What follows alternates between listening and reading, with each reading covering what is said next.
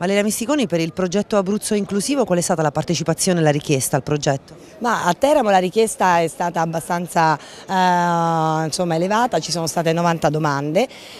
scaduto, il termine per le domande è scaduto il 16 giugno, dopodiché la Commissione ha provveduto ovviamente a fare la schematura di quelli ammessi e non ammessi a seconda della se la, domanda, la presentazione della domanda era conforme al bando e se si avevano i requisiti appunto, previsti dal bando.